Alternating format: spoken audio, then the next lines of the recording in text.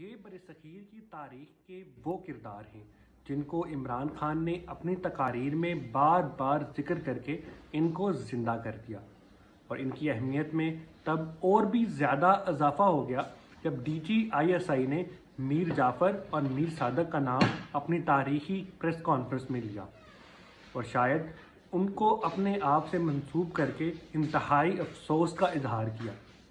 जाफ़र बंगाल के नवाब सराजुद्दौला की फ़ौज का एक सरदार था, जो कि बाद तरक्की करते हुए सिपा सालार बन गया।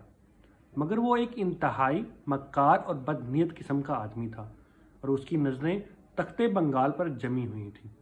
उसने अंग्रेज़ों के साथ मिलकर नवाब सराजुद्दौला की हुकूमत का तख्ता उलट दिया, जिसकी वजह से बंगाल के अंदर मौजूद इस्लामी हुकूमत का खात्मा हो गया और अंग्रेज़ों ने वहाँ पर कब्ज़ा कर लिया। इनाम के तौर पर अंग्रेज़ों ने मीर जाफ़र को नवाब ऑफ़ बंगाल लगा दिया। इस तरह से मीर जाफ़र तारीखी गद्दार साबित हुआ। इसी तरीक़ा से मीर सादक भी टीपू सुल्तान का मशीर ख़ास था, मगर मीर जाफ़र की तरह ही वो इंतहाई मक्कार और बदनीत किस्म का आदमी था।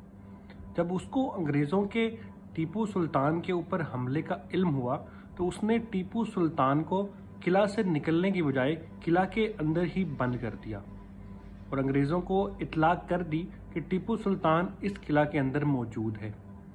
जिसकी वजह से टीपू सुल्तान की शहादत उसी किला में हुई।